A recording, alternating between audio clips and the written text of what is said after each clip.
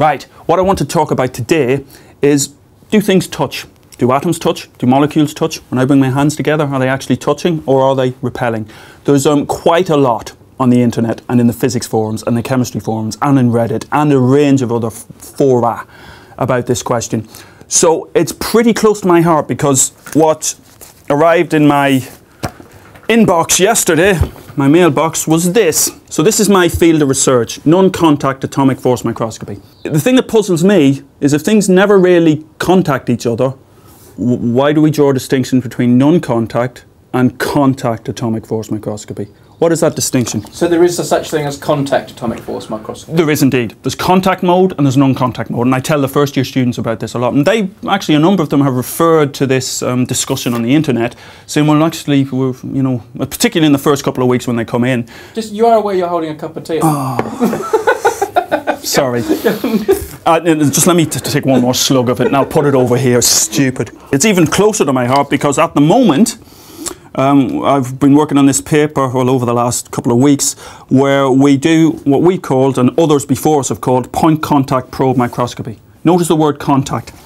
We go back to 1986, the inventors of the scanning tunneling microscope and the atomic force microscope. So these are two tools that allow us to see in, not only individual atoms, but the state of the art is to see individual bonds, and I've waffled at length about these in previous videos. Just because you use the word doesn't automatically mean it's happening. The important thing is we can have a very rigid definition of what contact means. And the problem is with the discussions, some of the discussions on the internet, the, the argument seems to be, here's one atom, well, let's call it a molecule. Here's one molecule, here's another molecule. The problem with a lot of the discussions is that, well, you bring these molecules together, you bring them together, and then they start to repel. That's wrong. That's, that's, that's fundamentally wrong. That's not what happens. You bring two molecules together, even if they don't form a chemical bond, they attract. It's something called the van der Waals force, and the, where it originates from is that you've got electrons over here, you've got electrons over here. Quantum mechanics tells us that we don't pin those electrons down to a particular location. So they're fluctuating here and they're fluctuating here. That means that on, on very small fractions of time, you're getting dipoles, you're getting a charge, a slight charge imbalance. And that slight charge imbalance over here and that slight charge imbalance over here gives rise to an attractive force. And that's really important. Long before you get to the repulsive side, you have an attractive force.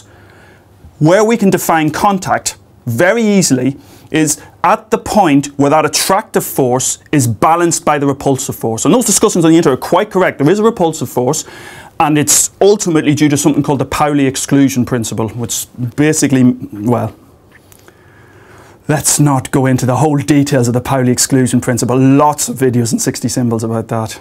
We have a very well defined position at which the net force, the balance of the repulsive and the attractive contributions, is zero. And that actually defines the bond length or defines the intermolecular separation if we don't have a chemical bond. We do not need a sharing of electrons. We do not need an exchange of an electrons. This van der Waals force, which is everywhere around us, the typical example is how does the gecko st uh, stick everywhere? And it's due to the van, ultimately due to this van der Waals force. So let me point out two things. Keep yeah. those balls where you had them. Yep. Let me point out two things you've just done there. First of all, you've made a big point of this is the definition of contact. So you're saying this is just a definition. No, but it's it's what we need to know is what do we do in science all the time? We try to have rigid definitions. We try to have rigid um, criteria. You know, when we think about simple laws like F is equal to ma, okay, etc. I'm willing to accept that's. Uh, I'm even willing to accept that's a scientific definition of contact. Even when you were doing that analogy for me, you kept the balls apart. You didn't make the balls touch each other. But the important thing, yeah, but the, the, the issue here is what we mean by contact. Okay, so right. So what this, do you, you science or is this? Are we just talking about words and definitions here? Uh, I guess you know those two things are always in, intrinsically entangled. You know, definitions and what we mean and what analogies we use and what models we use. How accurate are they? My concern is this idea of which is demonstrably wrong demonstrably, because we do this measurement in the lab on a daily basis. We take one molecule up here, we bring it to another, and we measure that force directly. And we can see where that force turns around and where that force goes to zero due to this balance of the attractive and repulsive. Force. Once you reach this point that you tell me is contact, yeah. can they move any closer? If they move closer, they get a repulsive force in the opposite direction. That's the key thing. If they move closer, they start to experience a repulsive force. And if they never came into contact, we can measure this directly. Hang on, we can measure this directly in the experiment. We can bring this one molecule in and we can crush this one.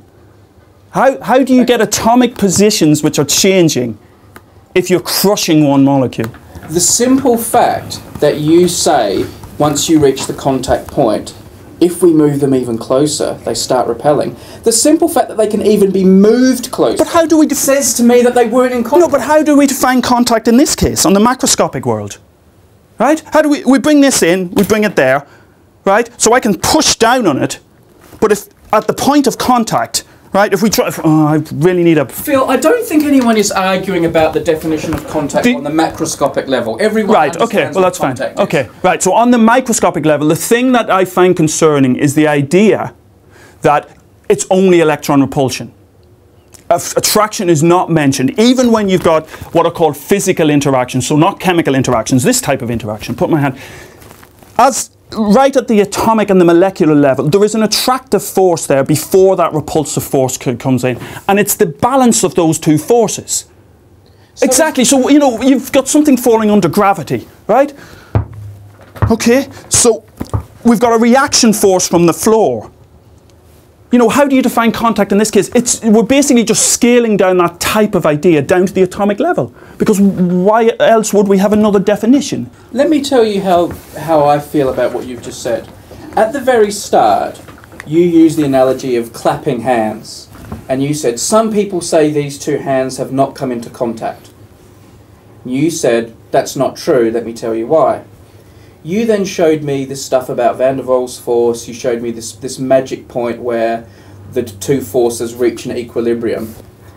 And do you know what I took from that? My hands don't touch when I clap. But- they get to this point where these forces But what- balance okay. out, and they never quite Right, well, let's- no. because the repulsive Well, force then let's got its way. well then let's define what you mean by touching. Do you mean that the nuclear cores come together? Do you mean that the nuclei come? Because if so, that's you know there is really no point in discussion because oof, th- those energy scales are completely out of reach. We're not going to have if we could have nuc- geez, if we could have nuclear fusion by doing that, wonderful. It's about a question of how do you define that contact point, and my point is that that point in science is pretty well defined. Well, what are the fundamental quantities in physics? Energy, mass, force, etc. And so, if we're talking about force, so let's make a definition on the balance of forces. So you're How making much the, more natural? making the definition of contact the point where these two forces balance out and we can't move the atom closer. Yeah. No, no, I didn't say we can't move the atom closer. Okay, well then if we can move the atom closer, I argue they're not in contact because that we could move them closer. Right, so let's go back to this. Let's go back to this. Are they in contact? Hang on, are, we, are you talking about them as footballs or atoms? As footballs. Are they in contact? yes. Right. If I do that and I squeeze down on that one. Right, so that's exactly what's happening. When you push these in, you get a repulsive force. But the important thing is where do you, you have to, it's not like we have a switch on, it's not like the forces switch on and switch off instantaneously over very, very small ranges. They, they vary smoothly. I must admit that's one definition. You can have other definitions of the contact point Yeah. right? So if it's a chemical bond, for example, you could say, right, at the point at which the overlap of the electron density is such and such, we'll define that as a. The important thing is that the physics is such, we can dress it up in whatever mathematical language you like, but the physics is such that at the atomic level, we have contact because otherwise, why would I, why would we call these techniques non-contact and Here's contact? what, here's what I think. Here's a scientific definition of what I think a normal person would think of as contact between two particles. I think, and what all these Normal person. what all these analogies are trying to get at, I think true contact between two particles, say two electrons, is the point at which the space occupied by the electron could have no Planck lengths between it and the space occupied by another electron.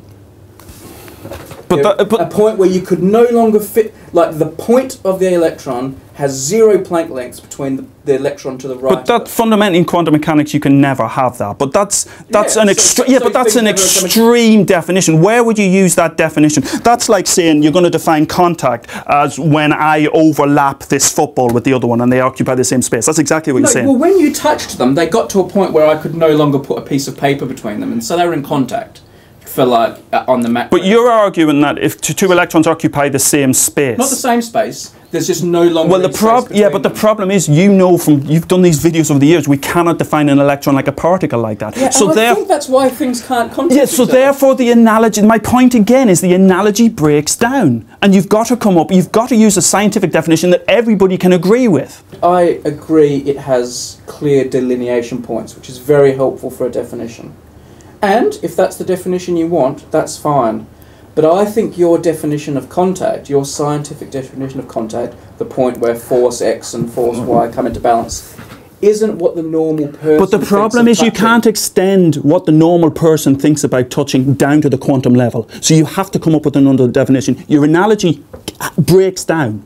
Analogy entirely breaks down Yeah. because you cannot extend it down to the quantum level. So when people make these videos or have these discussions that upset you, where they say things don't contact, what I think they're doing is these people have realised the wonder of what's going on at this microscopic. But they have to get the physics on, right. Let me finish. Okay, sorry, sorry. They've realised the wonder of what's happening at this nano level. And a really good way to convey the wonder of that is to say, do you know what? These things aren't even touching. I in the way agree. I agree, but you have to be careful to the extent to which you overplay that and you hype it. This is the important thing, and it's the, tr- it's true not just in terms of public engagement, in terms of, of YouTube videos and education via via online uh, channels, etc. It's true also in terms of the science we do.